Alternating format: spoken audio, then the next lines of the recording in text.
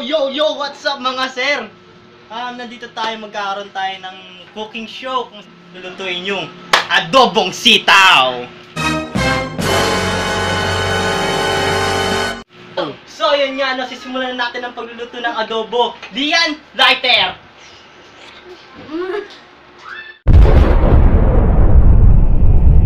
Bawang!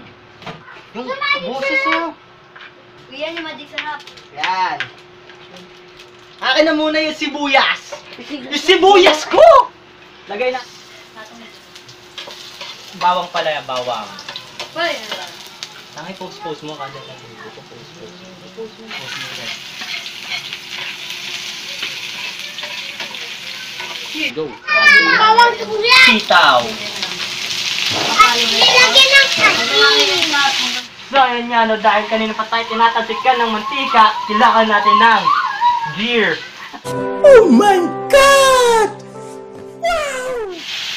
Dami.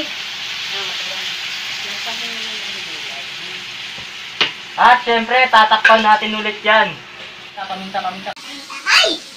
My God! Sumami siya. Yan o. Ubos. Ang fried. Ang ganda pala eh.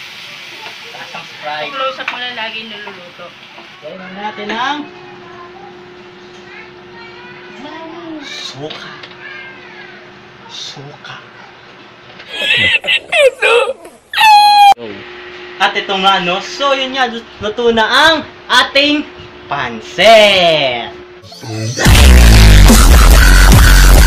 Biruin mo, toyo, suka, kinalabasan, pansit.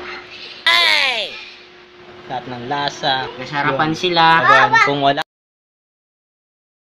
Ang palaro natin ay magkakamit ng ang ay magkakamit ng 250 pesos. So, yun, napakalaking halaga, no?